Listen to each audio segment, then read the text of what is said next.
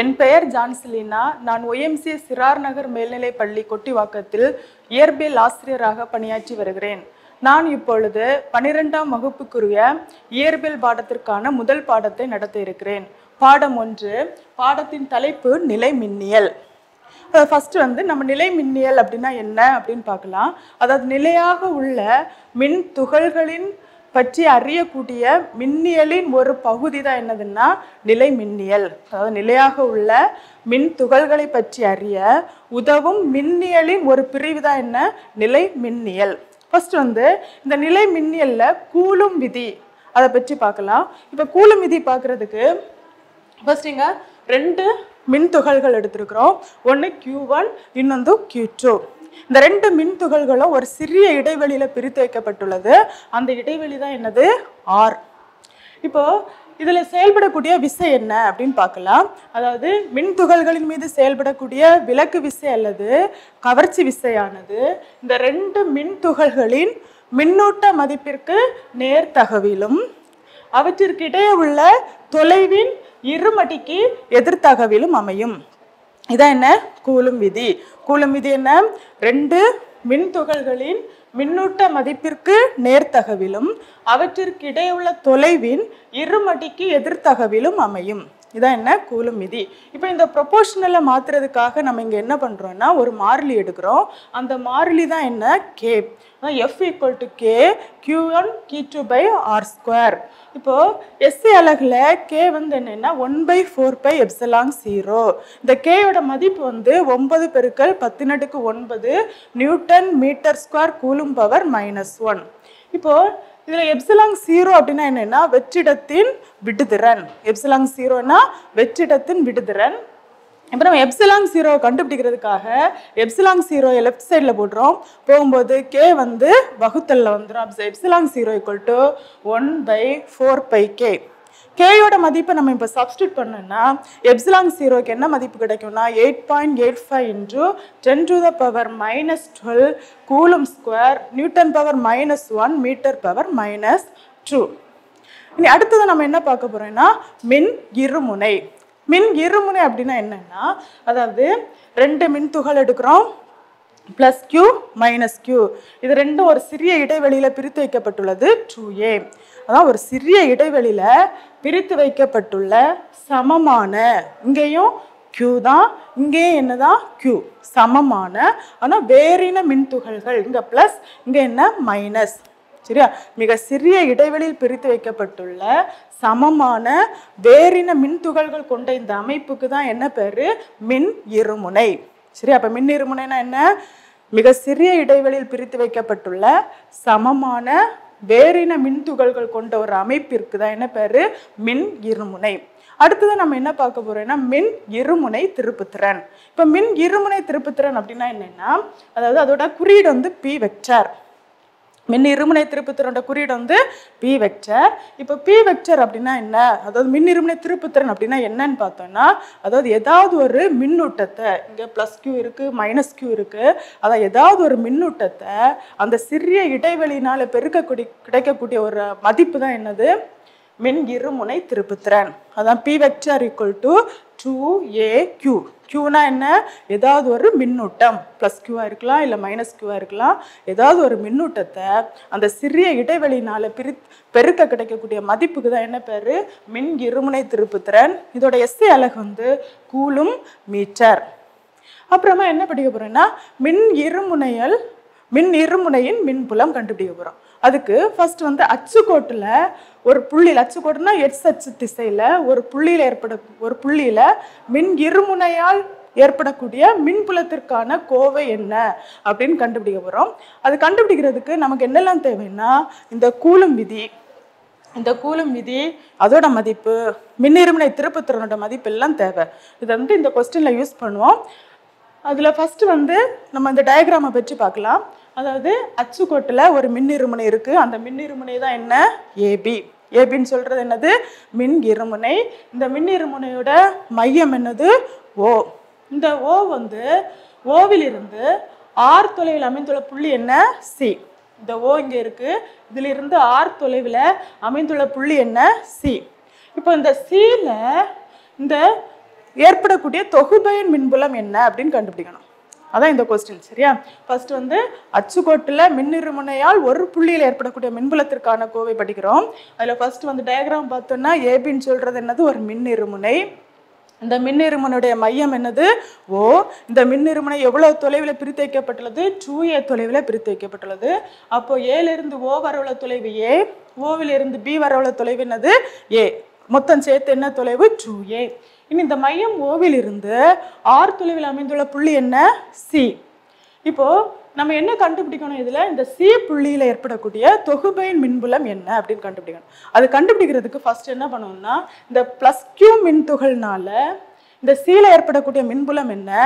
அப்புறமா இந்த minus Q மின்துகள்னால சீல ஏற்படக்கூடிய மின்புலம் என்ன? ரெண்டையும் கண்டுபிடிச்சிட்டோம்னா ரெண்டையும் கூட்டினா என்ன கிடச்சிடும் நமக்கு மொத்த மின்புலம் கிடச்சிரும். ஃபர்ஸ்ட் நம்ம அப்போ என்ன கண்டுபிடிக்கணும்? ப்ளஸ் கியூ மின்துகள்னால சீல ஏற்படக்கூடிய மின்புலம் என்ன? இப்போ வந்து இதில் வந்து இங்கே இந்த இந்த ப்ளஸ் கியூ வந்து மையத்திலிருந்து ரைட் சைடில் போகிறனால இ ப்ளஸ் வந்து ரைட் சைடில் போட்டிருக்கிறோம். இந்த ஓவிலிருந்து லெஃப்ட் சைடில் மைனஸ் கியூ ஆறுனதுனால நம்ம இங்கே இ மைனஸ் லெஃப்ட் சைடில் போட்டிருக்கோம். இப்போ ஃபஸ்ட்டு என்ன கண்டுபிடிக்க போகிறோம் இ e ப்ளஸ் கண்டுபிடிக்கிறோம். E இ ப்ளஸ்னால் என்ன? ப்ளஸ் கியூ மின்துகள்னால சி புள்ளியில் உருவாகக்கூடிய மின்புலம் என்ன?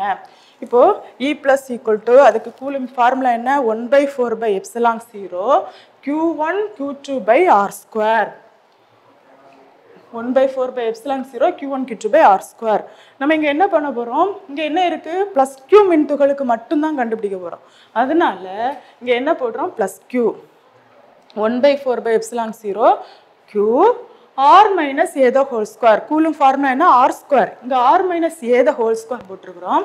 இப்போ வந்து இதில் இருந்து இந்த பி இங்கே இருக்குது பியில் இருந்து சி வரவுள்ள தொலைவு தான் நமக்கு தேவை. ஆனால் ஆர் எங்கே வரை இருக்குது ஓ வரை இருக்குது அந்த ஓவுக்கு பியில் இருந்து ஓ வரவுள்ள தொலைவு என்ன? ஏ அப்போ நமக்கு தேவையானது இவ்வளவு டைரக்ஷனும் தான் தேவையானது. அடிஷ்னலாக எவ்வளவு இருக்குது ஓபி கூட இருக்கிறதுனால ஓபி என்ன பண்ணணும்? இப்போ மைனஸ் பண்ணணும். அதனால தான் இங்கே என்ன பண்ணி போட்டிருக்கிறோம்? R minus A the whole square into P cap P கேப்னா என்னது? ஓரலகு இருமுனை திருப்புத்திறன். இனி e இ மைனஸ் அடுத்து கண்டுபிடிக்கணும். E இ மைனஸ் என்ன கண்டுபிடிக்கணும்? மைனஸ் கியூ மின்துகள்னால சி புள்ளியில் உருவாகக்கூடிய மின்புலம் என்ன? அப்போ மைனஸ் கியூ மைனஸ் கியூ மின்துகள்னால உருவாகக்கூடிய மின்புலம் என்ன? E இ மைனஸ் அப்போ E minus equal to Coulomb formula என்ன செய்ய போகிறோம் இங்கே அப்ளை பண்ண போகிறோம் one by four pi epsilon zero minus Q by one R plus A the whole square இங்கே என்ன இருக்குது இதுலேருந்து இதுவரை இது உள்ள தொலைவு என்ன? ஆர் இதுலேருந்து இதுவரை இது உள்ள தொலைவு ஆர் ஆனால் நமக்கு தேவையானது எது வர உள்ள தொலைவு? இதுலேருந்து ஏ வர உள்ள தொலைவு நமக்கு தேவை. அப்போ இன்னும் என்ன வேணும்? நமக்கு ஏ அடிஷ்னலாக தேவைப்பட்டது. அதனால ஏ என்ன பண்ணியிருக்கோம் நம்ம? ஆட் பண்ணியிருக்கிறோம் R plus A the whole square into P cap இப்போ என்ன பண்ணணும்? ரெண்டையும் கூட்டினா என்ன கிடச்சிரும் நமக்கு? தொகுபயன் மின்புலம் கிடச்சிரும். அதான் E total equal to E plus plus E minus எல்லாமே இது எனது மின்புலம்னு சொல்கிறது ஒரு வெக்டர் வெக்டர் அளவானனால நல் எல்லாத்துக்குமே என்ன யூஸ் பண்ணியிருக்கிறோம் வெக்டர் கோடு யூஸ் பண்ணியிருக்கிறோம் இப்போ வந்து e இ ப்ளஸோட வேல்யூ இங்கே சப்ஸ்டியூட் பண்ணியிருக்கிறோம் மைனஸ் இ e மைனஸோட வேல்யூவை சப்ஸ்டியூட் பண்ணியிருக்கிறோம் அதாவது இங்கே ப்ளஸ் தான் வரும். இங்கே இ e மைனஸில் என்ன இருக்குது மைனஸ் இருக்குது அதனால இது எதாக மாறி இருக்குது மைனஸ் தான் மாறி இருக்குது இப்போ வந்து இங்கேயும் க்யூ இருக்கு. இங்கேயும் க்யூ இருக்கு. அப்போ காமனாக என்ன செய்திடலாம் நம்ம? வெளியே எடுத்துடலாம். இங்கேயும் ஃபோர் பை எப்சிலாங் ஜீரோ இருக்கு. இங்கேயும் ஃபோர் பை எப்சிலாங் ஜீரோ இருக்கு. அப்போ அதையும் என்ன செய்திடலாம்? காமனாக வெளியே எடுத்துடலாம். அப்போ என்ன வந்துடும் Q by four pi epsilon zero into இது என்ன இருக்கு? One by R minus A the whole square minus one by R plus A the whole square into என்ன? பி கேப் இப்போ அடுத்தது q by four pi epsilon zero அப்படியே வச்சிருக்கிறோம். இப்போ இதுக்கு என்ன பண்ணுறோன்னா மீச்சியமாக எடுக்கிறோம். மீச்சியமாக எடுத்தோன்னா என்ன ஆயிரும் இங்கே? R minus A the whole square into R plus A the whole ஸ்கொயரை சேர்த்து எழுதிட்டோம்.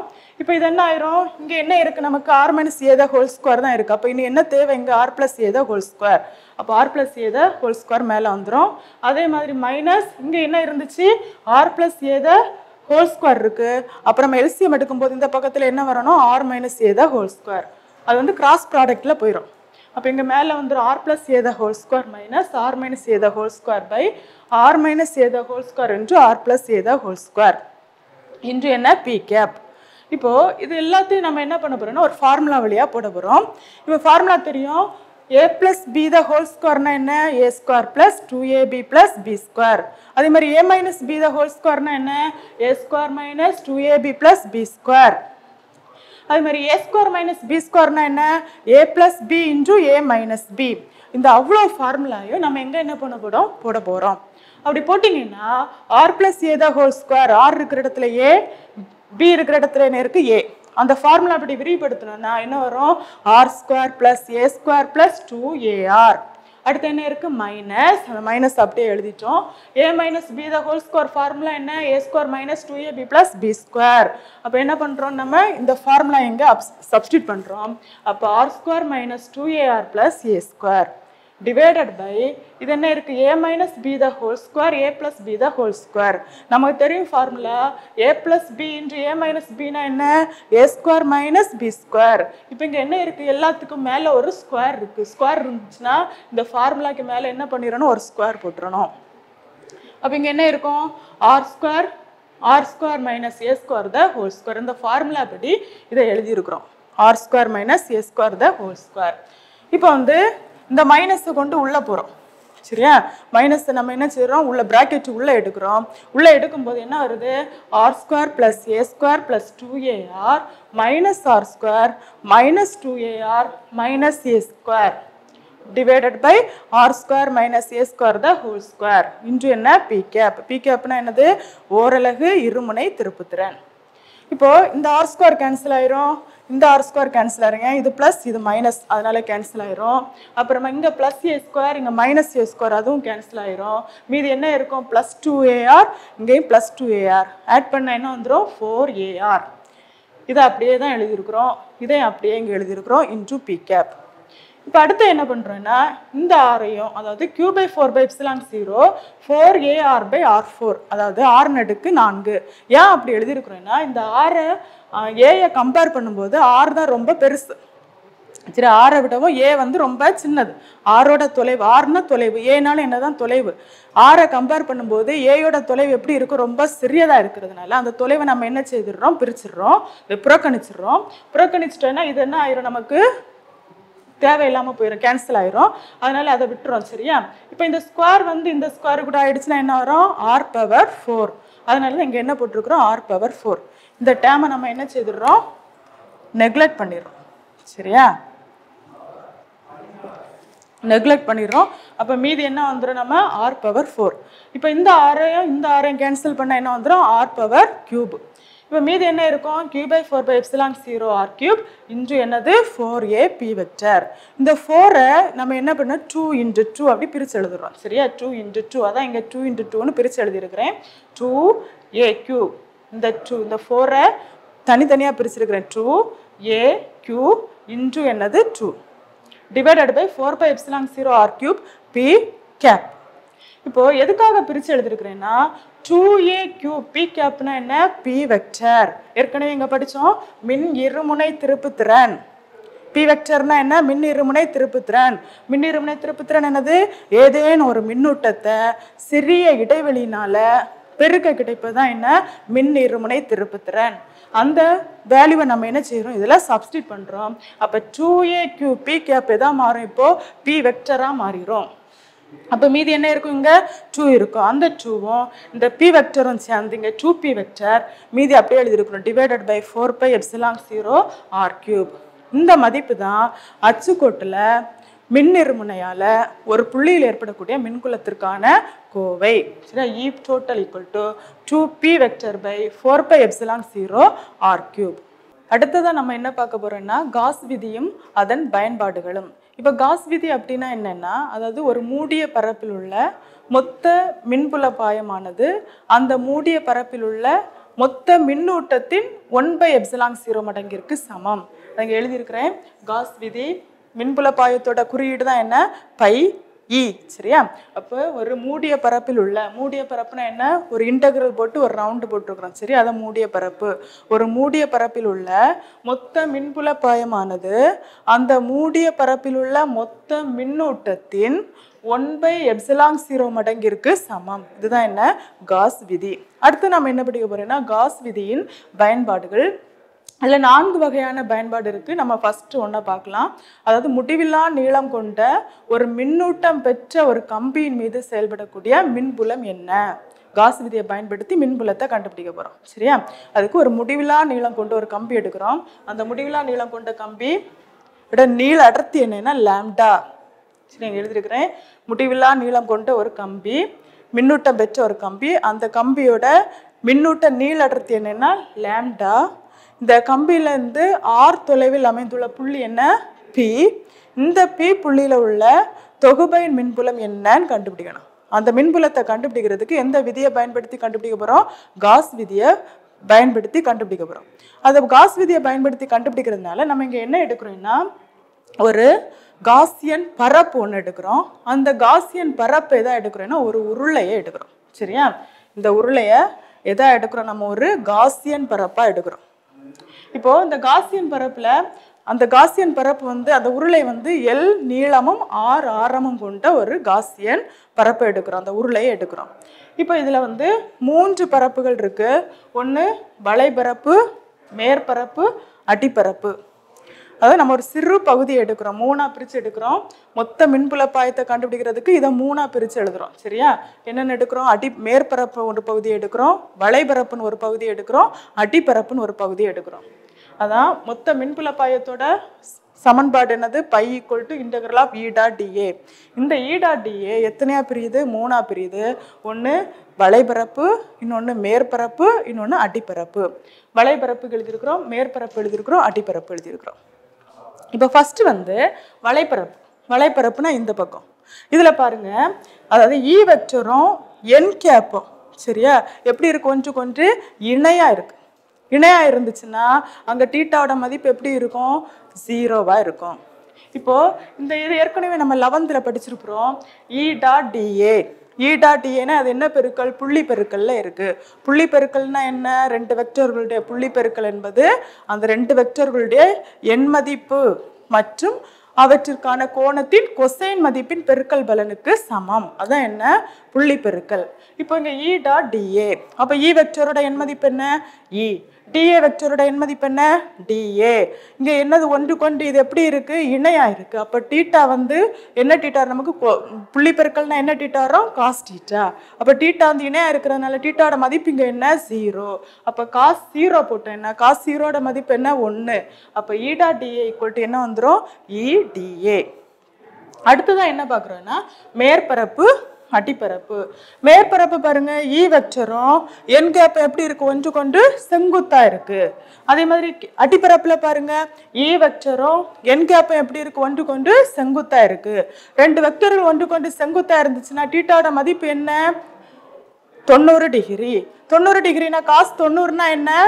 ஜீரோ அப்போ இந்த டேம் ரெண்டுமே நமக்கு எந்த ஆயிரும்? ஜீரோவாக மாறிடும் அப்போ இதில் ப- எந்த மதிப்பு மட்டும்தான் நமக்கு கிடைக்கும்? வலைபிறப்பில் மட்டும்தான் என்ன கிடைக்கும் நமக்கு? மின்புல மதிப்பு கிடைக்கும். அதான் E dot DA equal to என்ன எழுதியிருக்கிறோம்? இடிஏ இது ரெண்டு மதிப்பு என்ன ஆயிரும் நமக்கு? ஜீரோ ஆயிரும். இந்த மதிப்பு என்ன ஆயிரும்? ஜீரோ இந்த மதிப்பு என்ன ஆயிரும்? ஜீரோ அதனால எது மட்டும்தான் நம்ம எடுக்க முடியும்? வலைபிறப்புக்கு மட்டும்தான் எழுதணும். அப்புறமா பை ஈக்குவல் டு இடிஏ இதில் எந்த விதியை அப்ளை பண்ண போகிறோம் காஸ் விதியை அப்ளை பண்ண போகிறோம் காஸ் விதினா என்ன? மொத்த மின்புல பாயமானது அந்த மொத்த மின்புல் மின்னூட்டத்தின் ஒன் பை எப்சிலான் ஜீரோ மடங்குக்கு சமம். அந்த விதியை இங்கே எழுதியிருக்கிறோம்? எழுதிட்டு e இடா டிஏனா என்ன? சாரி இடிஏனா இடிஏல அதில் இஏ என்ன செய்திருக்கிறோம்? நம்ம வெளியே எடுத்துட்டு இன்டகிரல் ஆஃப் டிஏ எழுதியிருக்கிறோம். இந்த இந்த ஃபார்முலாவில் இஏ e என்ன பண்ணியிருக்கிறோம்? வெளியே எடுத்திருக்கிறோம். அப்புறம் மீதி என்ன இருக்குது integral of DA equal to Q by epsilon zero கியூனா என்ன? மின்னூட்டம். இந்த மின்னூட்டத்தை மின்னூட்டம் எப்படி கிடைக்கும்னா மின்னூட்ட நீள் அடர்த்தி லேம்டாவையும் அந்த உருளையோட நீளத்தையும் பெருக்க பெருக்கி கிடைக்கக்கூடிய மதிப்பு தான் எது? மின்னூட்டம். எதையெல்லாம்? நீள அடர்த்தியையும் நீளத்தையும் பெருக்குனா கிடைக்கக்கூடிய மதிப்பு தான் என்னது? மின்னூட்டம். அதுதான் நம்ம இங்கே என்ன செய்திருக்கிறோம்? கியூ ஈக்குவல் டு லேம்டா எல்னு சப்ஸ்டியூட் பண்ணியிருக்கிறோம். Lambda L by epsilon zero இப்போ இன்டகிரல் ஆஃப் டிஎக்ஸ் தான் நமக்கு தெரியும். எட்ஸ் அப்போ இன்டகிரல் ஆஃப் டிஏனா என்ன? ஏ அதனால இங்கே E dot integral of DA இருக்கிற இடத்துல எதை சப்ஸ்டியூட் பண்ணியிருக்கிறோம்? ஏஎஸ் சப்ஸ்டியூட் பண்ணியிருக்கிறோம். Equal to lambda L by epsilon zero இப்போது ஏனா என்ன? பரப்பளவு பரப்பை குறிக்கிறது ஏ அப்போ நம்ம இங்கே என்ன எடுக்கிறோம்னா இது எதோட பரப்பை குறிக்குது? உருளையோட பரப்பை குறிக்கிறது அப்போ உருளையோட பரப்பளவு என்னது? டூ பை ஆர் எல் உருளையோட பரப்பளவு என்ன? டூ பை ஆர் எல் அப்போ ஏ இருக்கிற இடத்துல எதை சப்ஸ்டியூட் பண்ணுறோம் டூ பை ஆர்எல்ல சப்ஸ்டியூட் பண்ணுறோம் அப்போ E into two pi RL equal to lambda L by epsilon zero இந்த எல்லாம் இந்த எல்லாம் கேன்சல் ஆகிடுச்சுன்னா மீதி என்ன கிடைக்கும்? E equal to lambda by two pi R epsilon zero இதுதான் என்னென்னா காசு விதியை பயன்படுத்தி முடிவில்லா நீளம் கொண்ட ஒரு மின்னூட்டம் பெற்ற கம்பியில் ஏற்படக்கூடிய மின்புலம். Equal to lambda by two pi R epsilon zero அடுத்து நம்ம என்ன படிக்க போகிறோம்னா மின் தேக்கி. அதாவது மின் தேக்கி அப்படின்னா என்னென்னா மின் ஆற்றல் மற்றும் மின் துகள்களை சேமித்து வைக்கக்கூடிய ஒரு கருவி தான் என்ன? மின் தேக்கி. எதையெல்லாம்? மின் ஆற்றலையும் மின் துகளையும் சேமித்து வைக்கக்கூடிய ஒரு கருவி தான் என்ன? மின் தேக்கி. அடுத்தது என்ன படிக்க போறோம்னா மின் தேக்குத்திறன் இப்போ மின் தேக்குத்திறன் அப்படின்னா என்னன்னா அதாவது ஒரு கடத்தியுள்ள கடத்தியில் உள்ள மின்னூட்டத்திற்கும் அந்த கடத்தியில் உருவாகக்கூடிய மின்னழுத்த வேறுபாட்டிற்கும் இடையுள்ள தகவு. மின் தேக்குத்திறனோட குறியீடு சி சரியா? அதான் இங்கே போடுறேன் சி ஈக்குவல் டு ஒரு கடத்தியில் உள்ள மின்னூட்டத்திற்கும் அந்த கடத்தியில் உருவாகக்கூடிய மின் அழுத்த வேறுபாட்டிற்கும் இடையே உள்ள தகவு தான் என்ன? மின் தேக்குத்திறன் கியூனா மின்னூட்டம் வீணா மின் மின்னழுத்த வேறுபாடு சினா மின் தேக்குத்திறன் அப்போ சி ஈக்குவல் டு என்ன? கியூ பை வி கடத்தில் உருவாகக்கூடிய மின்னூட்டத்திற்கும் அந்த கடத்தியில் உருவாகக்கூடிய மின்னழுத்த வேறுபாட்டிற்கும் இடையே உள்ள தகவு தான் என்ன? மின் தேக்குத்திறன் இதோட எஸ்சி அலகு வந்து coulomb volt power minus one மின்தேக்குத்திறனோட SI அலகு coulomb volt power minus one இப்போ அடுத்ததாக தொடர் இணைப்பிலையும் பக்க இணைப்பிலும் மின்தேக்கியை இணைத்தோம்னா என்னென்ன தொகுப்பையின் மின்தேக்குத்திறன் கிடைக்கும்னு படிக்க போகிறோம் ஃபர்ஸ்ட் வந்து தொடர் இணைப்பில் மின்தேக்கிகள் இணைக்கும் பொழுது கிடைக்கக்கூடிய தொகுப்பையின் மின்தேக்குத்திறன் என்ன? அதை பற்றி பார்க்கலாம். அதுக்கு நம்ம எத்தனை அதாவது தொடர் இணைப்பு அப்படின்னா என்ன நமக்கு தெரியும். மின்தேக்கிகள் வந்து ஒன்றன் பின் ஒன்றாக இணைக்கப்பட்டிருக்கிறது தான் என்னது? அந்த இணைப்பை தான் நம்ம என்ன சொல்லுவோம்? தொடர் இணைப்பு. இதில் இப்போ எத்தனை மின்தேக்கி எடுத்துருக்குறோன்னா மூன்று மின்தேக்கிகள் எடுத்திருக்கிறோம். மூன்று மின்தேக்கிகள் எப்படி இருக்குது தொடர் இணைப்பில் இருக்குது இந்த மூணையும் எதுக்கு குழாடி கூட இணைச்சிருக்கிறோம்னா ஒரு மின்கலனு கூடாடி இணைச்சிருக்கிறோம். சரியா? இது என்னது? மின்கலன். இந்த மூன்று மின்தேக்கியையும் எதில் நம்ம இணைச்சிருக்கிறோம்? ஒரு மின்கலனு கூடாடி இணைச்சிருக்கிறோம். இப்போது மின்கலனு கூடாடி இணைக்கப்பட்ட உடனே இங்கே என்ன நடக்குன்னா அதாவது மின்கலனு கூடாடி இணைச்சோன்னா அங்கே மின் இணைப்பு கனெக்ஷன் கொடுத்தாச்சு எல்லாமே. அப்போ இங்கே என்ன இருக்கும்? மின் துகள்கள் எல்லாம் என்ன செய்ய தொடங்கும்? இயங்க தொடங்கும். இயங்கும் போது இதில் மின்தேக்கி எதை சேமித்து வைக்கும்? மின் ஆற்றல் மின் துகள்கள் எல்லாம் சேமித்து வைக்கக்கூடிய ஒரு கருவி. அப்போ இங்கே வந்து எவ்வளவு மின்னூட்டத்தை இது சேமித்து வைக்கும்னா கியூ அளவு மின்னூட்டத்தை ஒவ்வொரு மின்தேக்கியுமே என்ன செய்திருக்கோம்? சேமித்து வைத்திருக்கோம். அப்போது சி ஒன்னில் உள்ள மின்னூட்டம் கியூ சி டூவில் உள்ள மின்னூட்டம் கியூ சி த்ரீல மின்னூட்டம் கியூ மூணுக்குமே சம அளவு மின்னூட்டம் கிடைக்கும். ஆனால் இந்த மின்கலனுக்கு குறுக்காக உருவாக்கக்கூடிய மின்னழுத்த வேறுபாடு வந்து ஒவ்வொரு மின்தேக்கிக்கும் வெவ்வேறாக இருக்கும். சி ஒன்னுக்கு குறுக்காக கிடைக்கக்கூடிய மின்னழுத்த வேறுபாடு வி ஒன் சி டூக்கு குறுக்காக கிடைக்கக்கூடிய மின்னழுத்த வேறுபாடு வி டூ சி த்ரீக்கு குறுக்காக கிடைக்கக்கூடிய மின்னழுத்த வேறுபாடு வி த்ரீ இதில் நம்ம தெரிஞ்சிருக்க வேண்டியது தொடர் இணைப்புனாலே மின்னூட்டம் இங்கே எப்படி இருக்கும்? சமமாக இருக்கும். மின்னழுத்த வேறுபாடு மட்டும் எப்படி இருக்கும்? டிஃப்ரெண்ட்டாக இருக்கும். இப்போ மின்தேக்குத்திறனோட ஃபார்முலா என்ன? C equal to Q by V இப்போ இங்கே எது டிஃப்ரெண்ட்டாக இருக்குது மின்னழுத்த வேறுபாடு டிஃப்ரெண்ட்டாக இருக்குது அப்போ நம்ம தொகுப்பையின் மின்னழுத்த வேறுபாடு கண்டுபிடிச்சோன்னா எப்படி கிடைக்கும் நமக்கு? இங்கே எத்தனை மின்தேக்கிகள் இருக்குது மூன்று மின்தேக்கி. அப்போ மூன்று மின்தேக்கிகளுக்கு இடையே உள்ள மின்னழுத்த வேறுபாடையும் கூட்டணும்னா என்ன கிடைக்கும்? தொகுப்பயன் மின்னழுத்த வேறுபாடு. அதனால தான் இங்கே எழுதியிருக்கிறேன். V equal to V one plus V two plus V three இங்கே எஸ் எதுக்காக போட்டிருக்கிறேன்னா இது வந்து எந்த இணைப்பில் இருக்குது தொடர் இணைப்பில். சீரிஸ் கனெக்ஷன் சரி அதனால தான் இங்கே என்ன போட்டிருக்கிறோம்? எஸ் போட்டிருக்கோம் V S equal to V one plus V two plus V three இப்போ ஃபார்முலா என்ன? மின்தேக்குத்திறனோட formula C equal to Q by V இதுல இருந்து ஈஸியாக என்ன கண்டுபிடிச்சிடலாம் நம்ம? வி கண்டுபிடிச்சிடலாமா? இங்கே இருக்கு. C equal to Q by V இந்த வி இந்த சைடு போயிடுச்சுன்னா சி எங்கே வந்துடும் வகுத்தல்ல வந்துடும் அப்போ V equal to Q by C இதுலேருந்து கண்டுபிடிச்சிடலாம். வி ஒன் என்ன? வி டூ என்ன? வி த்ரீ என்ன? அப்போ V one equal to Q by C one V two equal to Q by C two V three equal to Q by C three C ஒன்ல உருவாக்கக்கூடிய மின்னழுத்த வேறுபாடு we one C டூல உருவாக்கக்கூடிய மின்னழுத்த வேறுபாடு வி டூ சி த்ரீல உருவாக்கக்கூடிய மின்னழுத்த வேறுபாடு வி த்ரீ ஆனால் எல்லாத்துக்கும் மின்னூட்டம் எப்படி இங்கே சமமாக இருக்கும்? அப்புறமா VS equal to Q by CS இப்போ எல்லா வேல்யூமே நமக்கு தெரிஞ்சிடுச்சு. அப்போ என்ன பண்ணலாம்? இந்த இந்த இந்த சமன்பாட்டில் ஈஸியாக என்ன செய்திடலாம்? பிரதியிட்டுலாம் விஎஸ் என்ன? Q by CS V one என்ன? Q by C one V two என்ன? Q by C two V three என்ன? கியூ பை சி த்ரீ மூணை சப்ஸ்டிட் பண்ணிட்டோமா? இப்போ எல்லாத்துலேயும் என்ன காமனாக இருக்குது கியூ இருக்கா? இந்த மூணுலேருந்து என்ன பண்ணலாம்? கியூவை வெளியே எடுத்துடலாம்.